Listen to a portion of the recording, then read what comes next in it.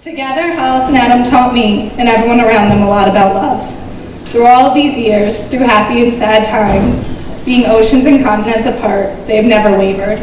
They have loved their way through everything life has brought them. My hope for you too is that you always grow, explore, experience new things, and laugh every day.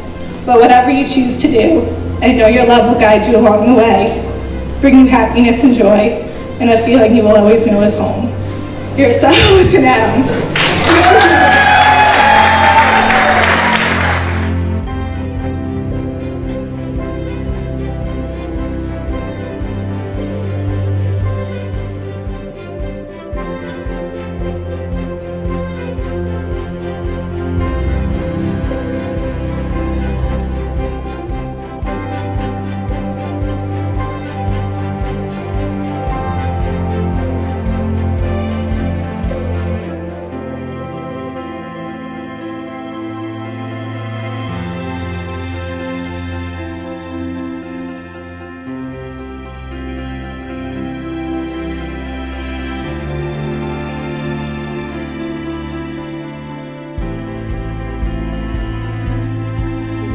As a symbol of my vow, as a symbol of my vow, and with all that I am and with all that I am and all that I have, and all that I have, I honor you. I honor you. In the name of the Father, In the name of the Father, and of the Son, and of the Son, and of the Holy Spirit. and of the Holy Spirit.